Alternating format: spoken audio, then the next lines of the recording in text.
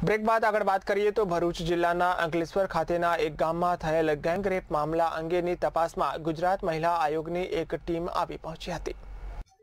થોડા દિવસ અગાઉ ભરૂચ જિલ્લાના અંકલેશ્વર ખાતેના એક ગામમાં સગીરા સાથે ગેંગ રેપની ઘટના બની હતી. જે ઘટના બાદ અંકલેશ્વર શહેર પોલીસે ઘટનામાં સંડોવાયેલા પાંચ જેટલા નરાધમોની અટકાયત કરી હતી, જેના કારણે સમગ્ર પંથકમાં ભારે ખળભળાટ વ્યાપી જવા પામ્યો હતો. અંકલેશ્વર શહેર પોલીસ મથક ખાતે ગુજરાત મહિલા આયોગના અધ્યક્ષા લીલાબેન અકોલિયા સહિતની ટીમ આવી પહોંચી હતી અને ઘટના અંગેની જાણકારી પ્રાપ્ત કરીને સમગ્ર કેસને ધ્યાન ઉપર લઈ ઘટના અંગે પોલીસ વિભાગમાં યોગ્ય માર્ગદર્શન પૂરું પાડ્યું હતું તેમ જાણવા મળ્યું હતું. અત્રે ઉલ્લેખનીય છે કે અંકલેશ્વર જેવા વિકાસશીલ શહેરમાં છેલ્લા કેટલાક સમયથી મહિલા ઉપર અત્યાચાર રૂપી ઘટનાઓ પ્રકાશમાં આવી હતી. એક તરફ એકસો એક્યાસી ની મહિલા કર્મચારી સાથે બનેલ ઘટનાથી ખળભળાટ મચ્યો હતો. તો તેના ગણતરીના કલાકોમાં સગીરા સાથે ગેંગ રેપની ઘટનાએ પંથકમાં ચકચાર મચાવ્યો છે.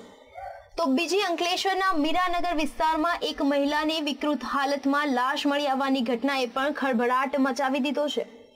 આમ મહિલાઓ સાથે બનેલ ચકચારી ઘટનાઓને લઈને મહિલા આયોગની ટીમ અંકલેશ્વર આવી પહોંચી હતી.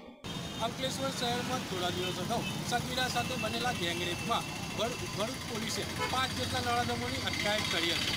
ત્યારબાદ આજરોજ મહિલા આયોગની ટીમે અંકલેશ્વર શહેર પોલીસ સ્ટેશનની મુલાકાતને લઈ સમગ્ર મામલો ધ્યાન ઉપર લઈ યોગ્ય કાર્યવાહી અને માર્ગદર્શન પોલીસને પૂરું પાડ્યું હતું. Arun Patel CN twenty four news Bharuch.